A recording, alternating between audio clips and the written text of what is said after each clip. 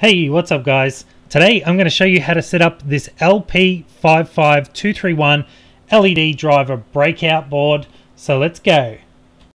Alright, so this LED RGB board is actually from SparkFun now. As you can see there, it's $9. This is from their website now. It does have three onboard RGB LEDs and it can also power nine channels of the LEDs. It also has some ground connections there as well. Other than SparkFun's details and documentation on how to set these up, there wasn't much online. So hence why I've created this video to show you how to wire that up, set it, code it uh, for the basics. And then from there, you can experiment to try and create whatever projects you want. When you receive the board, it comes basically flat like this. You then have to solder on the pins that you want to use. Now you can either use the male or female pins depending on the application you want to actually set up. In this case, I'm going to use the male pins and that way I can actually solder that onto something like a breakout board or you can easily plug it into a breadboard. So as you can see here, I'm just soldering the header pins onto the actual board. Make sure that your header pins are straight before you actually solder them all. Otherwise, you're going to have difficulty trying to plug it into whatever you're trying to plug it into.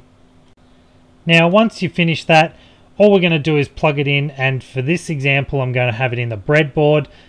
For the basic setup, you only need to have the five wires connected to your Arduino as you can see here. Now I'm going to show you a wiring diagram to make things easier. I've got the Uno and also the Mega. Now all you have to do is 5 volt to VCC, ground to ground.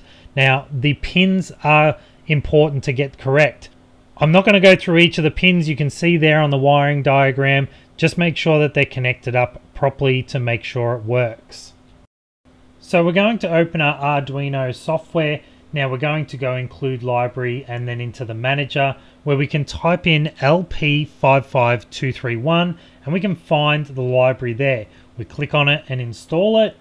Once it's installed, we can open up some examples and in the examples if we scroll down to the SparkFun LED driver down the bottom now I'm going to choose the simple demo for this example now we're going to open it up and we don't need to change any of the code. The only thing you'll need to be aware of is the include library for the wire.h. Now I've got an example of that in a previous video that I've done so you can watch that video as well.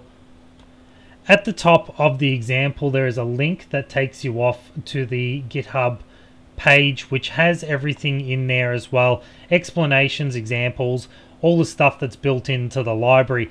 Now, it is handy to go through and actually try and understand a lot of the board before trying to program it.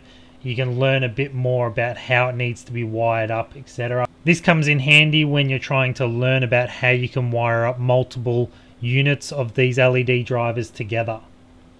So going back to the simple demo code, I've uploaded it and I'm running the comms port, which actually shows us which pin it's illuminating. Now it's going from 0 to 8, but that actually means it's pin 1 is 0 all the way up to pin 9. So in the case of the LED board with the three on-board LEDs, the first LED, pin 1 through to pin 3, is controlling that LED, and then pin 4, 5, and 6 is the second LED, 7, 8, 9 is the last one. So as we go across to the actual LED itself, you can see that as it's lighting up that pin or sending that signal, it engages that LED and turns that LED on. So that's why it's jumping between the red, green and blue. If you were to send two or three signals out, you'll get a combination of colors. With all three signals being sent, that activates all three being like a white. There's other examples that show the lights actually fading in and out as they're actually going, and other examples that show the illuminating of the LED. So this is from 0 all the way up to 255, which is the max brightness, and how that looks is like this. Now as it gets brighter, it then resets back to 0 again, meaning the LED turns off. Now in this case, it's actually lighting all three of those LED pins or outputs, so the red, green, and blue, giving that white color. Now, hopefully this gives you the basics on how to set up this board. And in future I'm going to do some further videos to actually show what I'm going to do with this board. So make sure you're subscribed so you don't miss out on that video. Make sure you leave a like as well. That's about it from me. Thanks for watching and we'll see you next time